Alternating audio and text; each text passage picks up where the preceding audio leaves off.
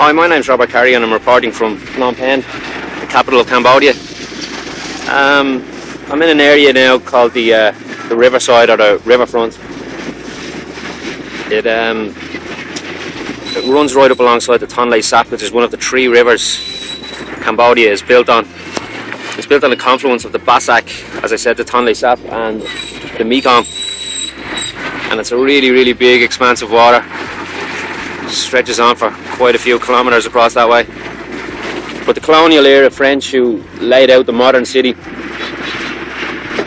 um, built this really, really nice promenade. And you've got all the main shops and restaurants and cafes strung out along one side of it. And this really nice, well maintained walkway along the other side. If you come here in the evenings, it's um, it's a really nice spot to be in. Particular, right now it's 10 a.m.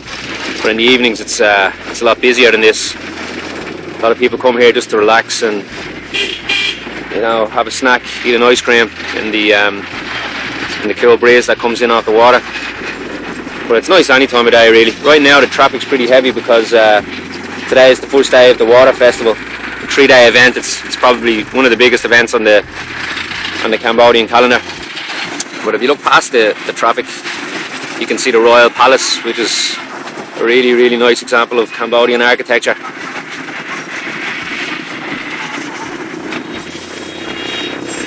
There's a lot of people arriving up from the provinces right now, so as I said, traffic's pretty busy.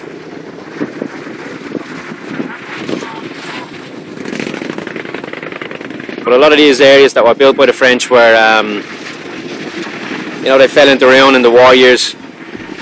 But right now they're all being redeveloped. The whole city's being redeveloped. And in the last five years that I've been coming here, this is just one of the big open spaces that have been completely redeveloped. And as you can see now, it's very, very well maintained and very well looked after. I hope you can hear me over the sound of the tuk-tuks. But uh, yeah, a lot of people come here to, to fish along the side of the river. I gave it a try myself yesterday. I caught three fish in one hour, so it can be done. So I hope that gives you a taste of uh, what life is like here in central Phnom Penh.